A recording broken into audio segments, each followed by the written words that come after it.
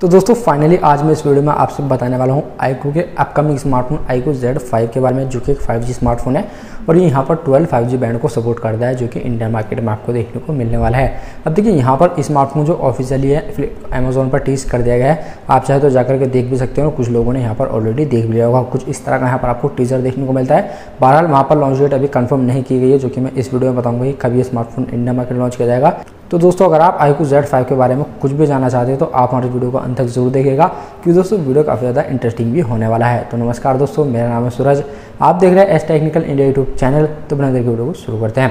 अब देखिए दोस्तों, यहाँ पर वीडियो को शुरू करने पहले आप सबसे एक निवेदन है कि आप में जो 95 परसेंट लोग हमारे वीडियो को देखते हैं ना, वो चैनल को सब्सक्राइब नहीं करते तो प्लीज़ दोस्तों, क्या कर रहा है? चैनल को सब्सक्राइब करके बेल आइकन को ऑल पे प्रेस कर दो और थोड़ा सा भाई को सपोर्ट कर दो, क्योंकि इस समय आपके भाई को सपोर्ट की सबसे ज़्यादा ज़रूरत है।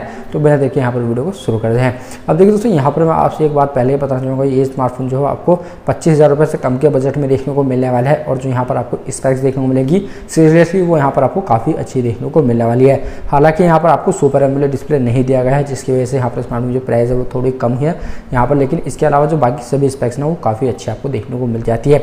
अब देखिए स्पेसिफिकेशन की बात करें तो यहाँ पर आपको सिक्स पॉइंट फाइव सेवन जिसका full H D plus I P S L C display दिया गया है, जिस पर आपको कोड के ग्लास फाइव की प्रोटेक्शन देखने को मिल जाएगी। साथ ही यहाँ पर आपको वन ट्वेंटी हर्ट का रिफ्रेश रेट देखने को मिलने वाला है। अब देखिए, यहाँ पर डिस्प्ले वाइज वैसे तो स्मार्टफ़ोन काफ़ी अच्छा है, लेकिन अगर यहाँ पर सो पैरामीटर प्रोवाइड कराया जाता है आईकू की तरफ़ से तो ये स्मार्टफ़ोन थोड़ा और बेहतर हो सकता था। लेकिन जिस प्राइस सेगमेंट में ये आने वाला है, उसके हिसाब से काफ़ी अच्छी परफॉर्मेंस आपको प्रोवाइड करा देता है।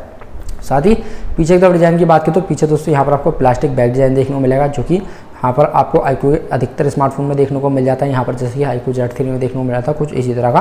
यहाँ पर आपको डिज़ाइन देखने को मिलेगा लेकिन यहाँ पर आपको क्वाइड कैमरा सेटअप देखने को मिलने वाला है पीछे की तरफ़। जिसमें दोस्तों sixty four mega pixel primary होगा साथ ही एक आठ मेगा पिक्सल अल्ट्रा वाइड होगा दो मेगा पिक्सल मैक्रो और दो मेगा पिक्सल का डेप लेंस आपको देखने को मिल जाएगा। ओवरऑल कैमरा परफॉर्मेंस में आप, आपको मीडियम से देखने को मिल जाएगी। इतनी तगड़ी परफॉर्मेंस यहाँ पर आपको देखने को नहीं मिलेगी। नॉर्मल वाला जो पंद्रह से सोलह हज़ार रुपये के बीच में आपको कैमरा सेटअप देखने को मिलता है। बाकी सभी कंपनियों के स्मार्टफ़ोन वहीं यहाँ पर यूज़ किया गया है।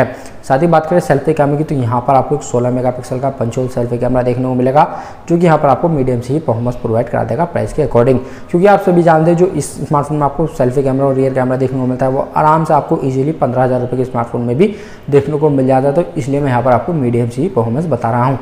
वरना तो यहाँ पर आपको कैमरा काफ़ी अच्छी परफॉर्मेंस प्रोवाइड करा देगा। साथ ही दोस्तों, यहाँ पर अगर हम बात करें स्मार्टफ़ोन के प्रोसेसर की तो प्रोसेसर यहाँ पर आपको काफ़ी कमाल का देखने को मिल जाता है। यहाँ पर आपको क्वालकॉम का Snapdragon seven seventy eight G processor देखने को मिलेगा।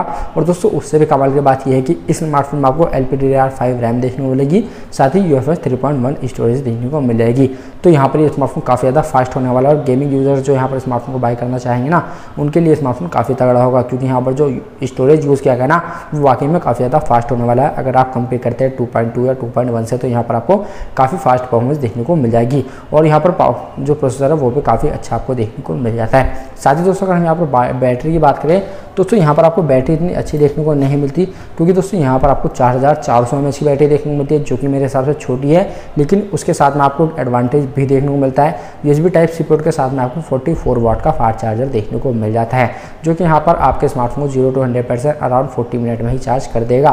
तो ये काफ़ी अच्छा फीचर्स भी आप पकड़ के चल सकते हैं। साथ ही अगर हम बात करें स्मार्टफ़ोन की इंडिया लॉन्च की तो देखिए, यहाँ पर फ़िलहाल तो अभी कन्फर्मेशन कुछ भी लेकर करके नहीं है ये, लेकिन ये सितंबर के लास्ट वीक में आपको देखने को मिलने वाला है। यहाँ पर ये हंड्रेड परसेंट कन्फर्म हो चुका है क्योंकि अगले वीक में चाइना में लॉन्च किया जाएगा और उसी के बाद ये स्मार्टफ़ोन इंडिया मार्केट में लॉन्च होने वाला है।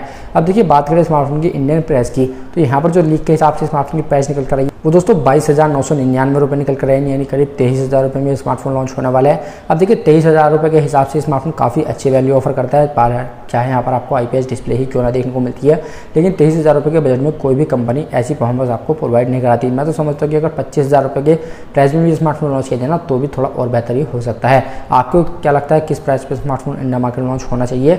एक्चुअल में क्या प्राइस रहनी चाहिए स्मार्टफ़ोन की? आई को कमेंट करके जो बताएगा। अगर दोस्तों वीडियो अच्छी लगी तो प्लीज़ वीडियो को लाइक कर दीजिएगा। अपने दोस्तों के साथ शेयर कर दीजिएगा।